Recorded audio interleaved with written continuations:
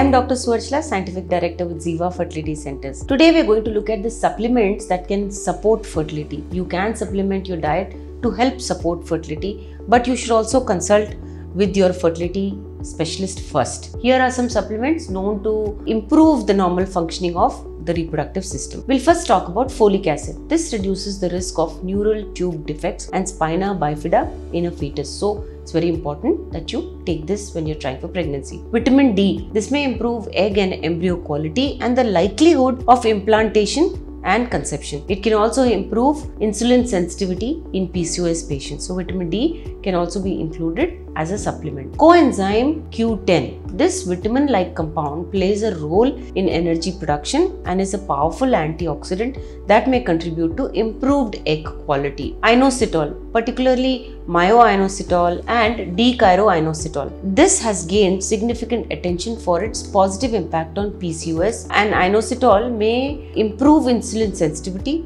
regulate menstrual cycles and also promote ovulation. Next is NAC, acetylcysteine. This is known to combat inflammation and oxidative stress. NAC is not naturally present in food, so it must be obtained through supplementation. It is more effective than metformin in improving insulin resistance and may have a positive impact on fertility by improving ovulation, pregnancy rate, and egg quality. Then comes omega 3 fatty acids like EPA, DHA.